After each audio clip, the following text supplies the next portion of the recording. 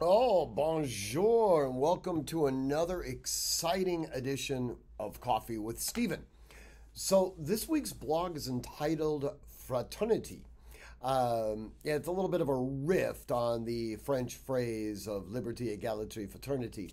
Um, and it's specifically related to some, you know, arguably juvenile behavior on the part of our governor haircut.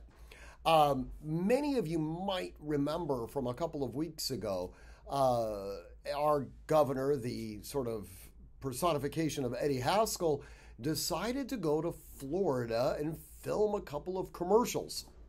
In those commercials, standing in front of a palm tree outside of Miami, he encouraged the residents of Florida to consider moving to California. California, evidently, is a bastion of freedom and clean living.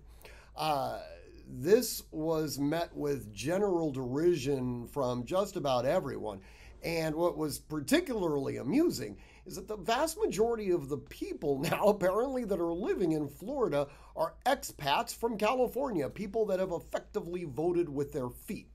It's also telling that you don't see governors from states like Texas or Florida or South Dakota coming to California and effectively making recruitment videos for their state. Now, to be true, that has happened before in the past, but over the last number of years, those types of commercials just really weren't necessary. People were, in fact, just simply moving.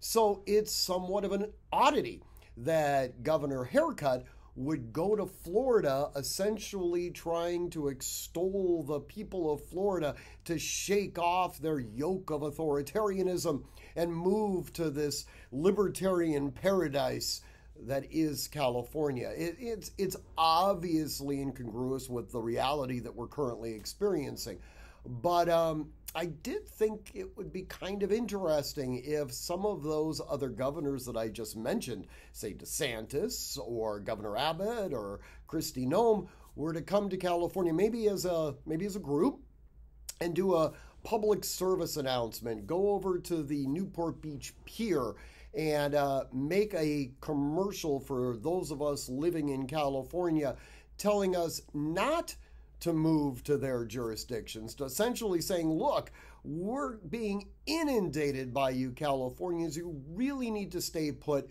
Besides, it is critically important that we maintain some type of museum to socialism. We've already got one in New York. We should keep one on the left coast as well.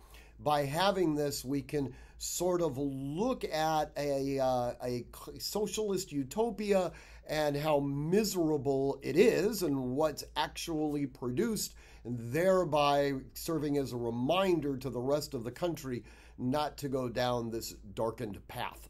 In any event, I do encourage you to read the blog. It's available on Wednesday at artemishq.com. And as always, I want you to train constantly, train consistently, train repetitively, and train with purpose. Above all else, stay safe.